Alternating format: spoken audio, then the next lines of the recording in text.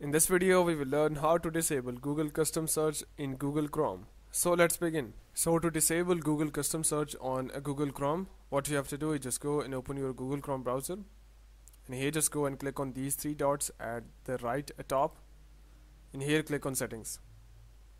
Scroll down below and click on advanced setting and again scroll down below and under the system just go and click on open proxy settings. And here under the LAN local area network LAN settings click on LAN settings. And if under the proxy server this is checked use a proxy server for your LAN. If it this is checked uncheck that and click on OK. You have to uncheck this one. Uncheck this if it is checked and click on OK. Cl click on OK Hope by doing so your issue will be resolved.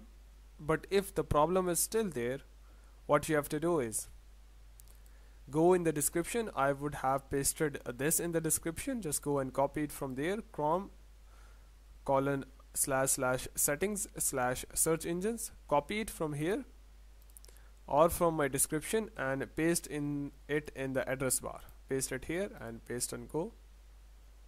And here you would see all the search engines listed so if you are seeing a Google custom search here what you have to do is you have to make google.com google your default. For that just go and click on these three dots.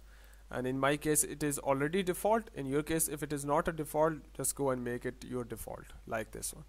So hope by doing so your issue will be resolved. But before you go please a like subscribe and share. Thank you